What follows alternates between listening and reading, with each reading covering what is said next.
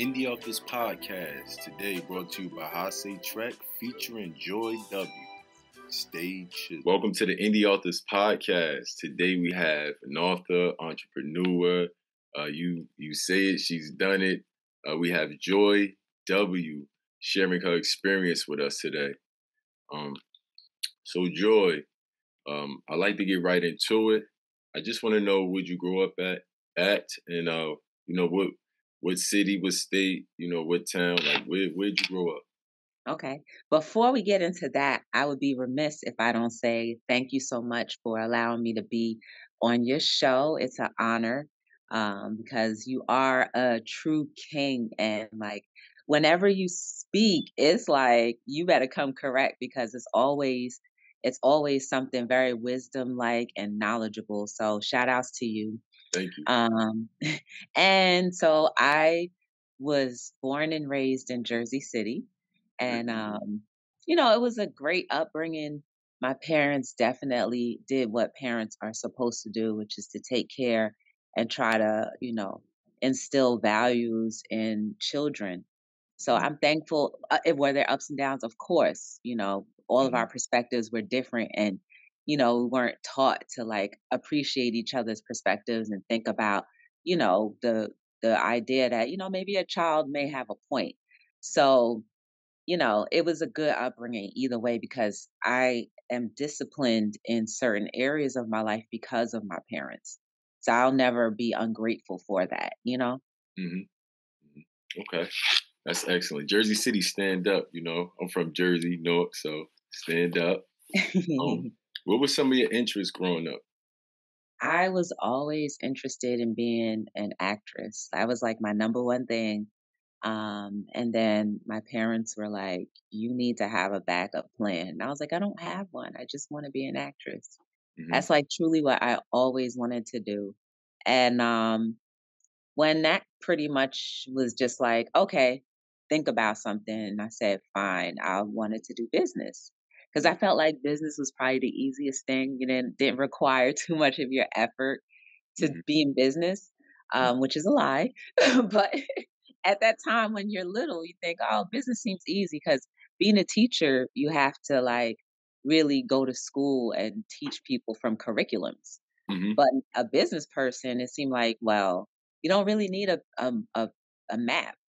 You can see what was laid out, the foundations that were laid out, but there's no real map. You can go either direction. So I figured I'll do that.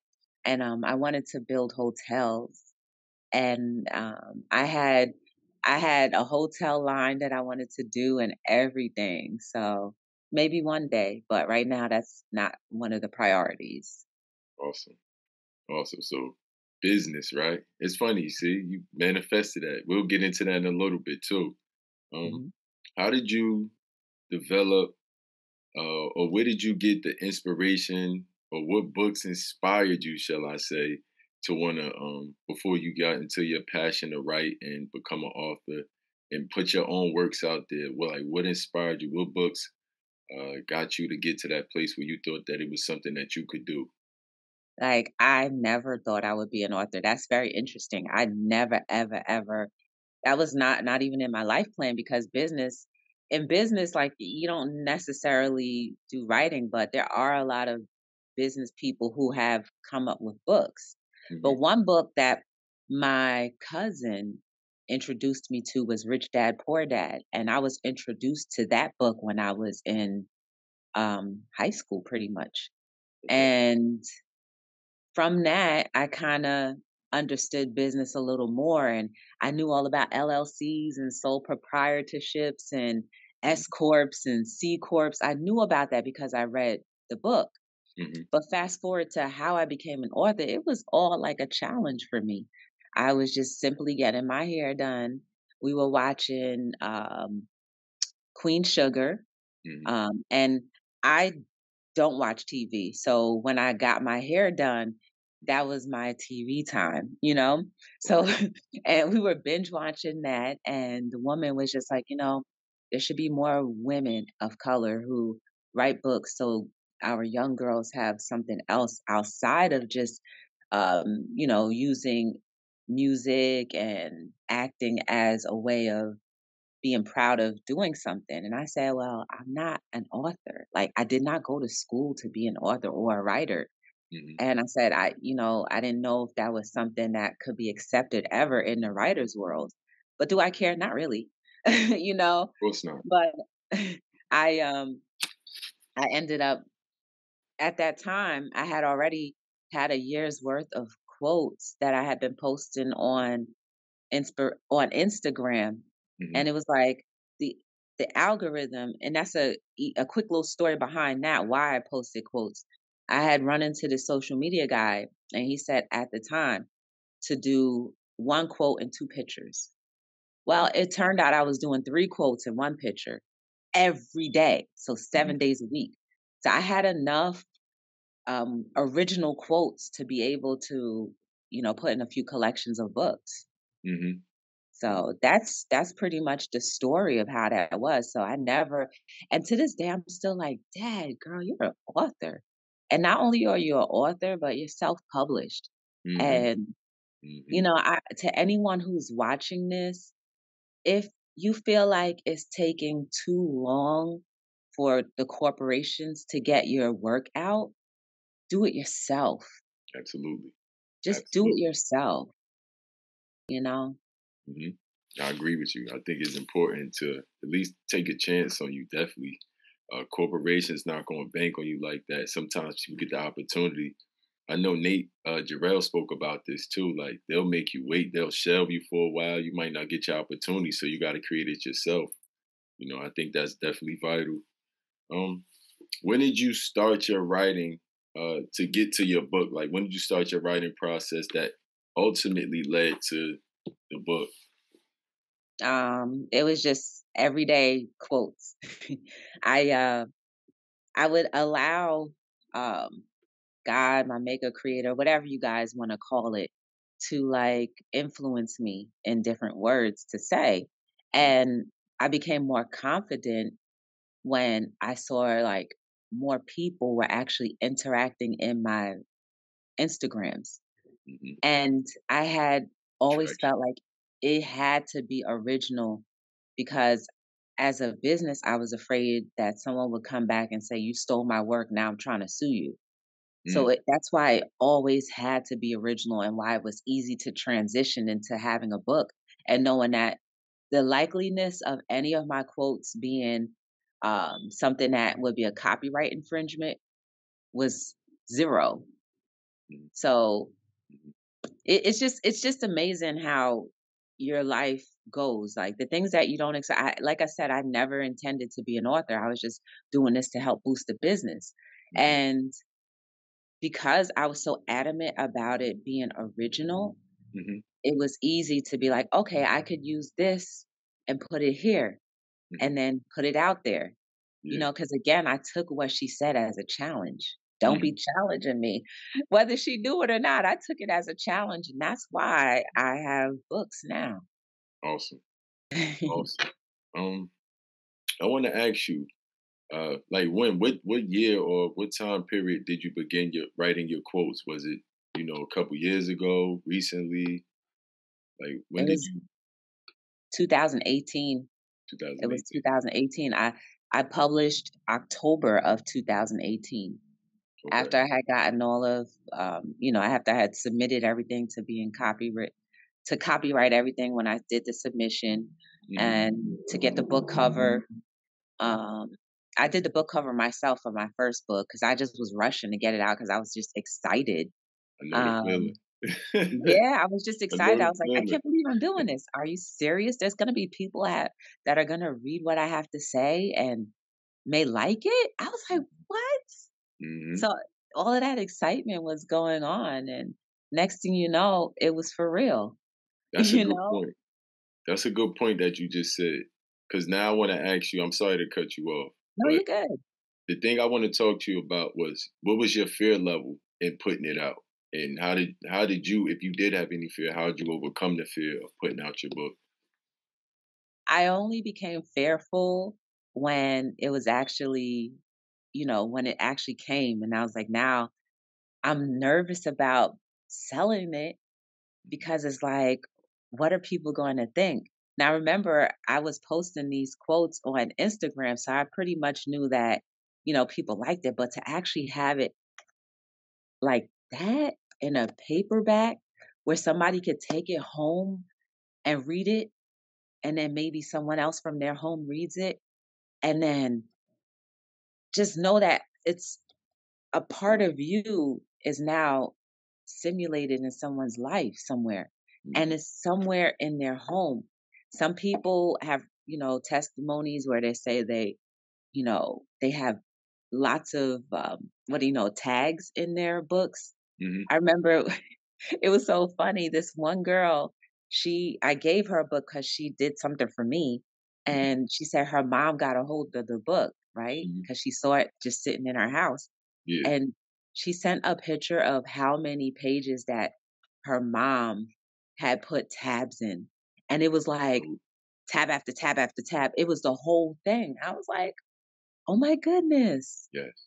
You know, awesome. that that that's what that's what the fearful part is, is like and then like another fearful thing is like making sure that you're grammatically correct mm-hmm. and that the spelling er- that spelling errors are not there. You know, I did get it edited, but it's still always stuff still gets, you know, slips by. Mm-hmm. Uh, but it, it's just I'll never, I still will never um, get used to the idea that I'm an author and not just one time, but like five times over. Mm-hmm. You know, mm-hmm. within a within a three year period, I mm-hmm. did my first book in um, October 18. Then I published in 19. Then I, like the winter of 19. Then the summer of 19. Mm-hmm. Then like the winter of 20. And and what I will say though, when I did publish, I was like, I'm not doing the traditional route where, you know, like let the book simmer a little bit so people can catch on and buy. I didn't do that. I just put it out there. Yeah. And I was, that was the one thing marketing wise that I was probably very, very like, mm, very bad at. you, you didn't create the, uh, the anticipation prior to, to eventually get to the release. I get what you mean. You nope. know, I did the same. Pro- I did the same thing too. I just was. I know the feelings when you talk about those feelings of just being somewhat anxious and wanting to complete the project because you know once you complete the project, the weight of the project is off your back because no one really understands the process that it takes to do this. You know, it's very intricate. It takes a while. It, you go through your own mental process in the midst of it. You got other responsibilities, so it's, it's a huge process and then to get to the finalization and to solidify it, it's like you could breathe now, you know. But then the next step is, like you said, getting it out to the world, which sometimes could cause anxiety to people. But what I've come to realize with like writing, and I'm pretty sure you realize this too, when you do put your work out there, you realize there were more people that could relate to it than that, that oppose the work. You realize, like, man, I feel good putting it out now because I realize the relationship that I created, you know, and that people actually can't understand what whatever I put out there. But I'm gonna ask you this: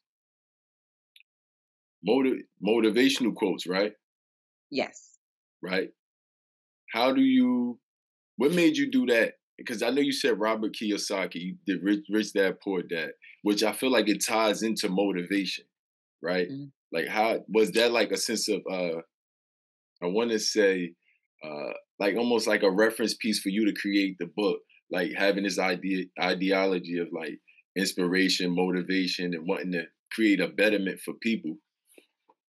Nope, that wasn't nope. it at all. I mean, it was based off of the guy. Remember, I was telling you the guy was saying the algorithm for Instagram at the time was mm-hmm. you do one quote and two pictures. Mm-hmm. And so that was the motivation to actually write quotes. And the challenge in creating something original mm-hmm. was what pushed me even more. Okay. And when I was getting the different responses from people, it was just like, okay, you feel that, right? Mm-hmm. And then, like, I had turned off the TV too, right? The TV mm-hmm. was off. So every thought that was crossing my mind, I was just typing it down, mm-hmm. typing it down not realizing that eventually it was going to go into a paperback. I was just doing it for the algorithm. Mm-hmm. I was doing it to try to get my business or try to get Be the Difference clothing more recognized in the algorithm. That was the motivation. Okay. And then when I ran into this woman, I said, I'm not an author. Tradi- traditionally, I am not an author. I did not go to school for writing. I didn't do any of that. So I, that was where I was just like, like I, I, I hope I don't step on the toes of other writers who do this in college and then you know mm-hmm. and i was that's where it was kind of like you know this is this is a platform where you probably don't deserve it but because you mm-hmm. allowed god maker creator to speak through you mm-hmm. that's how you got the reward and i'll tell you this one quick story when you were talking about people relating mm-hmm. um i was at an event recently and this woman she was look she just opened the book and it hit it was a quote that made her cry mm. and i was just sitting there like dang like whatever i said because of what was going on maybe around that time she never showed me the quote so i don't know mm-hmm. or something that i that god my maker creator gave to me is now affecting her it just reminds me of how connected we all are as humans, regardless of how far apart we are. Mm-hmm. Literally. Mm-hmm. You know what I mean? And mm-hmm. just to see that she bought the book, but she was like, I didn't come here to cry. But she literally was crying. And I just, mm-hmm. it just was like, dang, that was dope. It made a difference in someone's life. And that's the purpose of Be the Difference Clothing. That's the purpose of these quotes. And you know, it's also healing too in certain ways because I got to some of the things that I was saying, I was actually going through, and just to write it out there, regardless of whether anybody agreed with it or not, is like I had the right. Once again, thanks to Joy W for being a guest on the Indy Authors podcast. And if you enjoyed this video, also stay tuned for part two, releasing this week. Don't forget to stay connected on Instagram, TikTok, and Twitter. Stay chill.